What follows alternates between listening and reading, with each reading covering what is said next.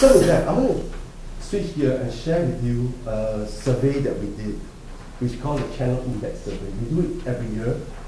And uh, this year we included APJ partners. Out of the 544 global partners that were surveyed, 127 were from APJ. So it's a very good representation of that. What we were interested to find out from them is, in the area of innovation, are they spending enough time with the customers, or are, is it true that the customers are spending more time on innovation than, uh, than not?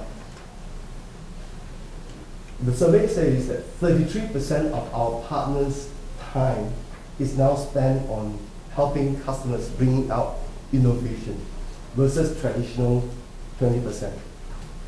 So that's a good thing. That means APJ is actually at the state of innovation. Next is where the investment priorities.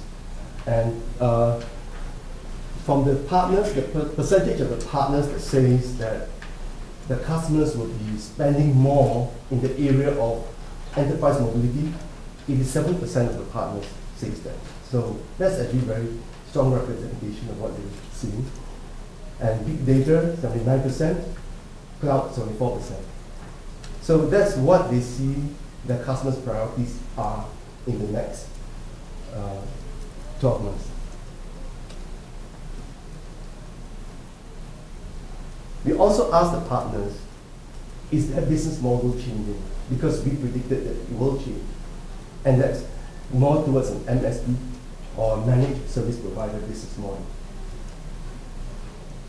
64% of the partners say they have either started or have become MSPs already. We are actually seeing a number of them over here in Korea.